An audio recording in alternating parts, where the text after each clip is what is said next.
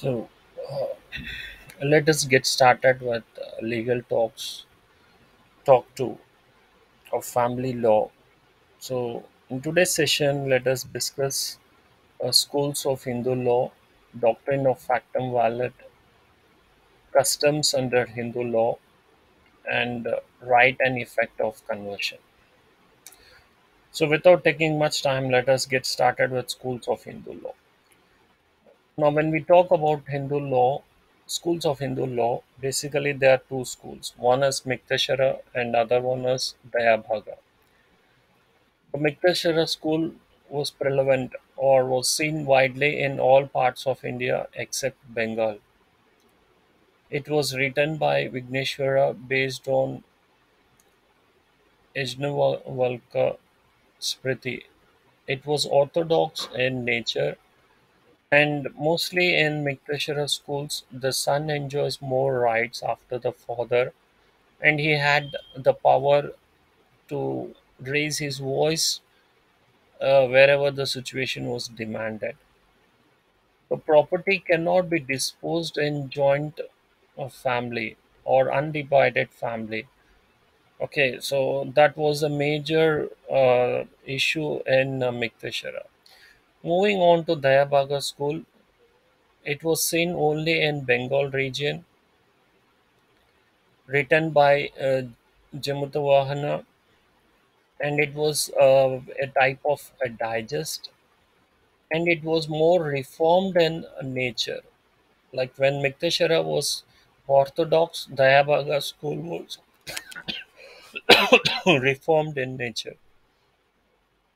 And under this Dayabhaga school, only father has rights. So, like unlike in Miktashara, the son was equally powered, empowered as father to take up decisions. But in Dayabhaga, only father had all the rights, or father enjoyed all the rights. So property can be disposed, like if it was a giant a joint family and one family member wanted his share. So that selling of the share was possible under Dayabhaga school, but was not allowed under Miktashara school. Let's move on further, uh, looking at the subdivisions of Miktashara school.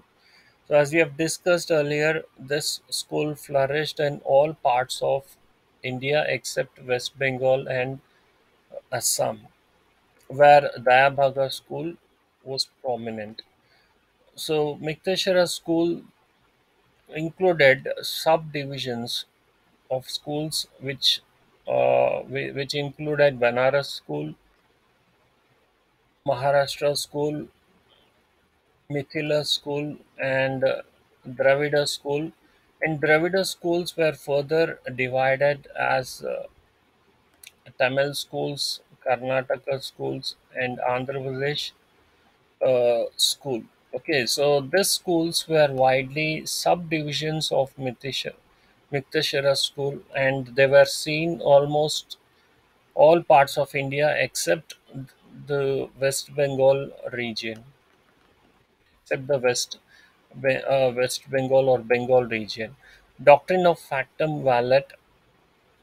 So it, it's based on the maxim, a Latin maxim, which means factum valet, quod fieri non debet, means what should not be done, yet being done shall be valid. Now, in the first case, a thing should have not been done. Now, by chance, if it is done, then it should be considered as valid. Okay, so this again uh, was brought into existence by some eminent sources which state that this was uh, supported or widely brought into existence by the Dayabhaga school. The doctrine of factum valet states that once an act, act is done or a fact is accomplished, it cannot be altered by the written text of the laws. Like best examples in this case may be related to marriage or adoption. Okay. Now here an important aspect to keep in mind is uh, the directive principle should be followed Wherever the directive principle was not followed, then it may not be possible to invoke doctrine of fact and valid. For instance, if a marriage is solemnized and the marriage did not follow all the essential customs or essential uh, entities of the marriage. Okay? And in the later years if there is an issue then doctrine of factum valet related to marriage will not arise. Why? Because the directive principle was overlooked. So what does the directive principle say? The directive principle talks about fulfillment of essential conditions. Now since the essential conditions related to marriage were not fulfilled then it doesn't make it or it doesn't make it a part of doctrine of factum valet or in simple words doctrine of factum valet cannot be applied. So here what is more important as directive rule should be taken into consideration based on directive rule or directive principle only the of fact, factum doctrine of factum valet can be applied. Now let's move on to customs under hindu law. Now what is a custom? So custom in simple words is a rule followed by a community of people for a long time. Means if someone is into a practice of a doing practice of doing a thing for a prolonged period of time okay for a prolonged period of time then it becomes a custom. And custom here we are talking about community means they should have been widely accepted by people or a group of people. And the second condition is it should have been into existence for a longer period of time. So in that case we refer to it as a custom now it is based on the mix. Maxim via trita via tuta means the beaten path is the safe path. Now what is the beaten path here and what is the safe path? Means if people have been following a thing for a long time and they have been yielding a result from the thing that they have been followed that means it is yielding a result and at the same time it is not doing any harm. So A custom is something which is being into practice for a period of prolonged period of time and which always uh, possibly possibly fetches or gets a best result okay or good result. So then such a thing uh, is a good custom that has to be followed. Now in case of Palyapan Chitti versus Elgin Chitti, AIR 1922 PC 288, the Supreme Court, the Honorable Supreme Court of India held that. So customs were a source of Hindu law, okay, and a valid custom has to satisfy all the re- legal requirements. So here the cust- uh, Supreme Honorable Supreme Court made it very clear that it, it that a custom is a source of Hindu law, and it should also follow. It should also uh, it becomes a valid custom when it satisfies all the legal requirements. Now, when we talk about customs under Hindu law, Section 3A of the Hindu Marriage Act 1955 clearly defines custom as follows. The expressions customs and usage signify any rule which, having been continuously and uniformly observed for a long period or a long time, has obtained the force of law among Hindus in any local area, tribe, community, group, or family. So, Section 3A of Hindu Marriage Act 1955 is making the definition of custom very clear.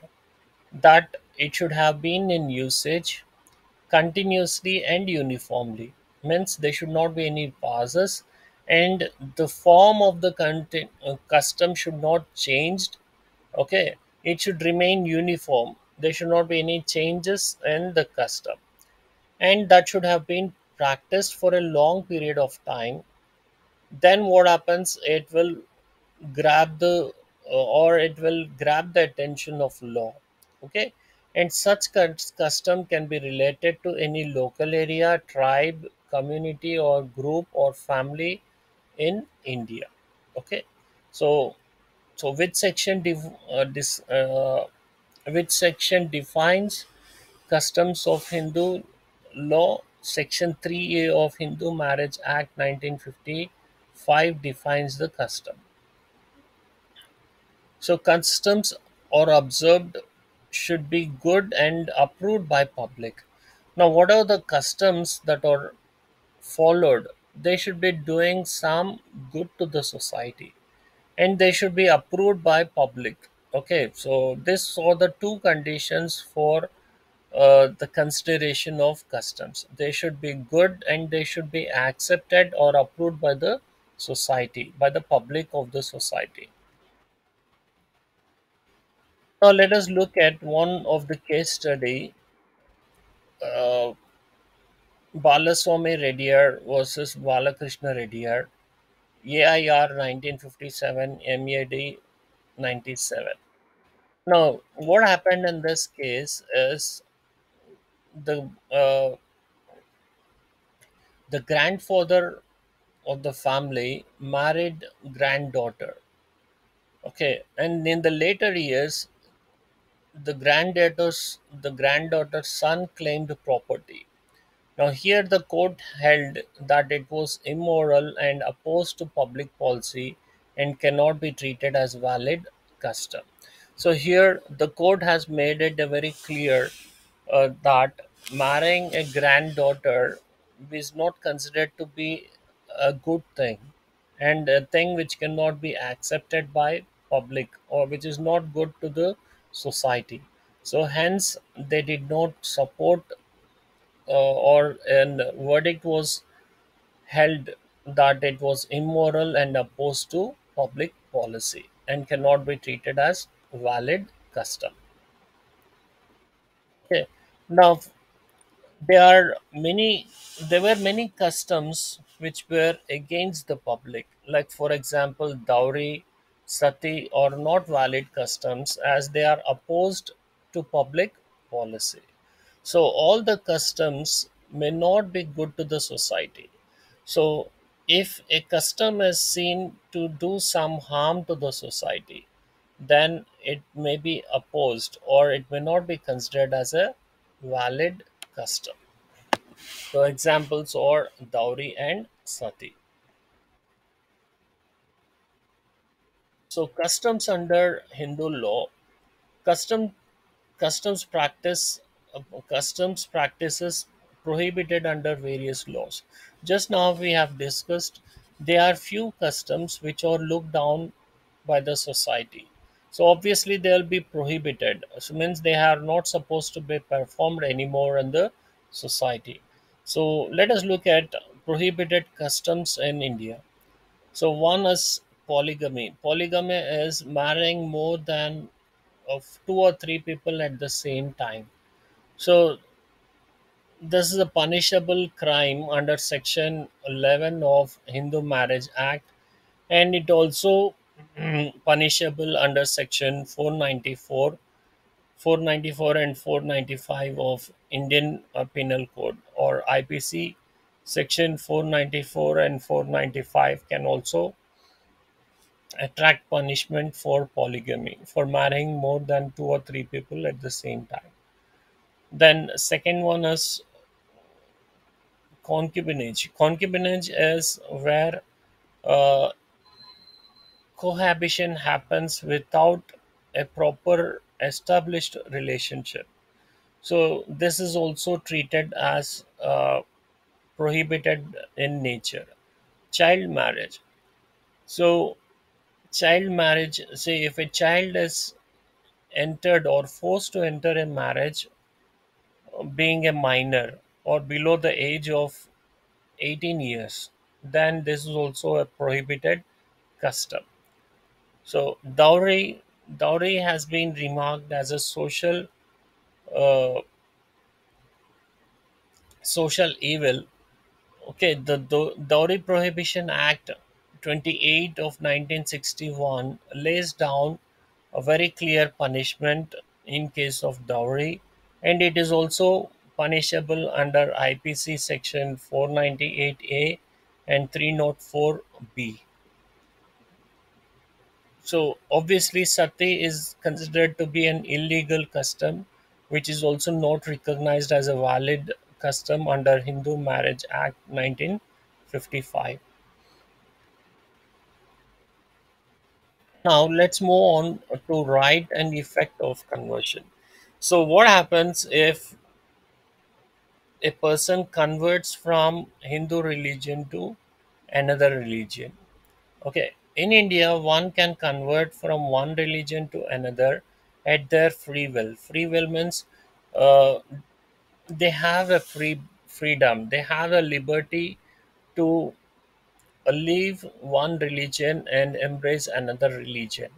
So, Indian Constitution gives this freedom to all the Indians to follow the religion which they like. But whenever there is a conversion from one religion to the other religion, there will be an impact on the conversion. So, effect always talks about rights. So, what may be the result on marital rights? Now, if the husband renounces Hinduism, means if the husband leaves uh, Hinduism, then the wife can seek a divorce, and if the wife renounces Hinduism, then husband can uh, seek divorce. Okay, now uh, this was seen in case of Srimati Sarla Mudgal versus Union of India AIR 1955 SC 19 uh, 1531. Now, what happened in this case is the husband uh, wished to convert it to Islam for the second marriage, means he was in an intention to enter into a marriage the second time.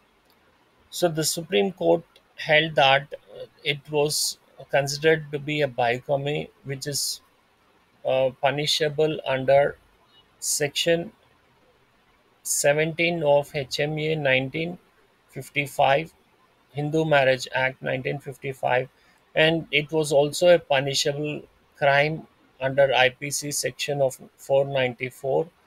In this case, the Supreme Court gave very clear indica- uh, clear verdict that the husband can convert to Islam, but he was not allowed to get into a second marriage. Okay, so that's about effect. Okay, effect of marriage, right to maintenance. Okay, so Section 24 of Hindu Adoption and Maintenance Act provides provisions for uh, right to maintenance. Means whenever some, some unexpected conversion happens within the family, then Section 24 of Hindu Adoption and Maintenance Act, okay, lays down clear uh, instructions for maintenance. So, if the husband renounces Hinduism, then wife can come claim a right for separate residence, separate house, and maintenance under Section 18.2f of Hindu Adoption and Maintenance Act. Okay, so this brings us to the end of uh, today's session. So, hope you liked the session. Okay, please do uh, like and subscribe my channel. Have a good day.